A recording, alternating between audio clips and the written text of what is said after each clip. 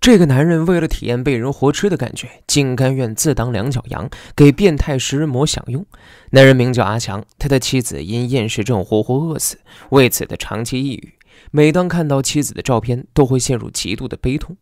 这天，他像往常一样来到酒吧买醉，不料却被一个神秘人盯上。对方似乎看出他状态不佳，递给他一张名片，让他有需要可以打给自己。刚开始，阿强并没有在意，直到他抑郁症再度发作，准备拿起匕首了结自己的时候，注意到了桌上的名片，鬼使神差打了过去。一番交谈之后，才知道对方名义上是自杀协助，实际上却是一个变态食人魔，显然是想把他吃掉。虽然有些震惊，可一闭眼就看到女友惨状的阿强，还是没忍住答应了。第二天，两人来到酒吧碰面，只见男人打开手提箱，掏出一份自杀协议，让阿强签署。阿强刚开始还有些犹豫，直到看到妻子的幻影，他才最终签下了自己的名字，准备下去和妻子早日相聚。就这样，阿强被丧彪带回了家中，只见里面设施陈旧、脏乱不堪，根本不像是正常人居住的地方。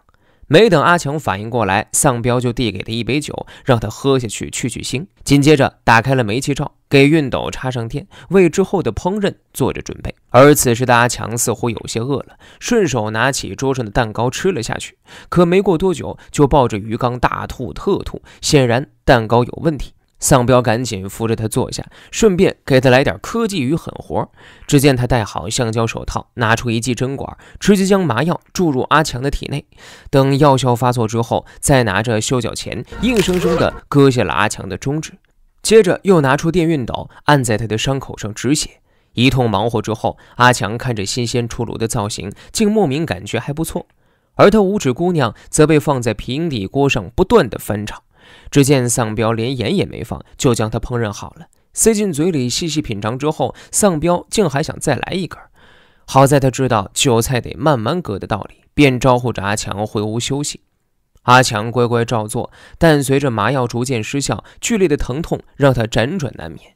于是他来到卫生间，将一整瓶安眠药吃了下去，想要就此了结自己。恍惚间，他似乎又看到了妻子的幻影，最终还是将安眠药抠了出来。没想到第二天，丧彪就发现了空旷的药瓶，认为阿强违反两人之间的合约，粗鲁地将他的手固定在桌上，准备对他进行更为残忍的惩罚。这个恐怖的食人族有多凶残？只见他拿起钢锯，想要直接卸下男人一条手臂用来红烧，结果忘记打麻醉，疼的男人是哭爹喊娘。为了不影响自己创作，丧彪只好将止疼药捣碎，放入果汁中，搅拌均匀之后，强制喂进了阿强的嘴里。接着又开始新一轮的忙活。伴随着阿强的尖叫声，他的一只手臂就这样被卸了下来。丧彪细细抚摸着阿强的断臂，感受着这紧致的肉感。接着，他将肉切片进行深度加工，再摆上刀叉，倒上一杯香槟，开始细细的享用，边吃还不忘边发出感慨。Fuck me, you taste great。就在这时，门铃声响起来了，原来是警察上门了。桑彪赶紧将阿强扶进浴室。两个警察进门之后，表明了自己的来意。But we've been anonymously alerted of cause for concern regarding a noise complaint。可丧彪却解释自己在看恐怖片。没想到憨憨警察竟然相信了这个说辞。其中一名女警提出想去卫生间，阿强虽然一脸紧张，却还是答应了这个请求。没想到女警进去之后，只顾着对镜子欣赏自己的盛世美颜，全然没有注意到浴帘后面被困的阿强。而另一边正在客厅的男警也没闲着，他竟然盯上了丧彪的食物，还递到嘴边尝了起来。看他一脸享受的表情，就知道他对这烤肉很是满意。The best veal I have ever tasted。说着还不忘递给女警也尝尝。可女警品尝后却说：“This is not veal。”这下丧彪直接一整个呆住，好在他接着又补充道：“This is Michelin star veal。”两个憨憨警察就这样对着丧彪一顿彩虹屁吹捧，全然不知道眼前的是个变态杀人魔。警察走后，阿强麻药失效，逐渐清醒过来。丧彪给他递来一杯香槟，两人举杯共饮，一起谈人生、谈理想。情到深处时，还不忘来张合影。将阿强送回房间休息之后，丧彪还将照片贴在了最显眼的位置。第二天，心情不错的丧彪还开着车带阿强出门游。在此期间，他们遇到一群精神病人，也许是看不惯他们的蠢样，丧彪突然间暴起，一枪击中病人的游艇。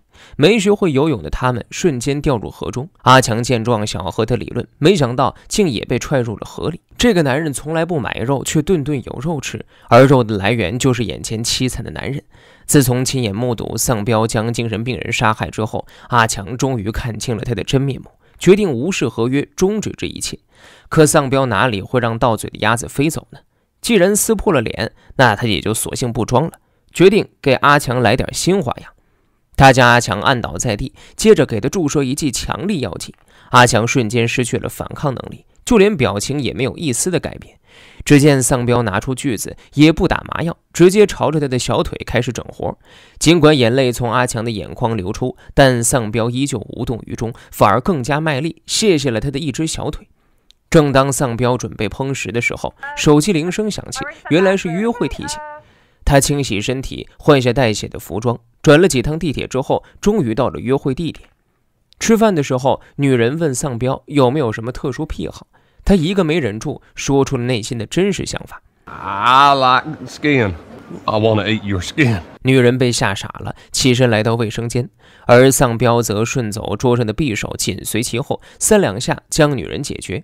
回家后，压抑了一天的他拿起刀具就要对着阿强的大腿发泄，可就在这时，憨憨警察又来了。家里已经满是血迹，清理犯罪现场已经来不及了。关键时刻，丧彪灵机一动，找来一幅油画，用大腿在上面创作。警察上门之后，误以为阿强是一位画家，竟对着他刮目相看，就连血滴在鞋上也浑然不知。可就在两人出门没多久，就收到了队长发来的消息。凶杀案嫌疑人就藏在附近，他们才终于发现了鞋上的血迹。于是他们再次返回确认。与此同时，屋内的丧彪听见警察的动静，立刻拿出两把菜刀藏在身后。开门后，面对两人的盘问，他灵机一动，让警察看向身后。就在这一转身的功夫，两人就被丧彪给干掉了。于是乎，浴室又多了两具新尸体。而此时，阿强也逐渐清醒，他开始大声呼救。丧彪见状，将他推出屋外，还不忘端出烹饪好的肉排让他食用。此刻，他还假意将枪放在桌上，再给阿强解开绳索。没想到阿强果然中计，直接将枪对准了丧彪。等开枪的时候，这才发现枪里根本就没有子弹。这一切都是丧彪的考验，但阿强并没有挺过。就这样，丧彪开始一系列诡异的操作。只见他戴着警察的帽子，开始了角色扮演，最后更是拿着枪直接朝自己的脚来了一下。这一切都让阿强认为丧彪就是个疯子。紧接着，这个疯子又拿着匕首，眼含泪水，祈求阿强原谅自己。但经历了这一切，阿强早已黑化。他瞅准时间，将头磕在桌上。丧彪就这样以戏剧化的方式结束了自己的一生。而阿强则滚下椅子，艰难地爬到窗边，等待着警察的救援。就在这时，妻子的幻象再次出现在他的眼前，却是和他做着最后的告别。尽管阿强只剩下了一只手臂，但这一刻，他的内心终于得到了解脱，也从这一段如梦如幻的经历中，他重拾了活下去的勇气。悟空闹电影，带你走进不一样的电影世界。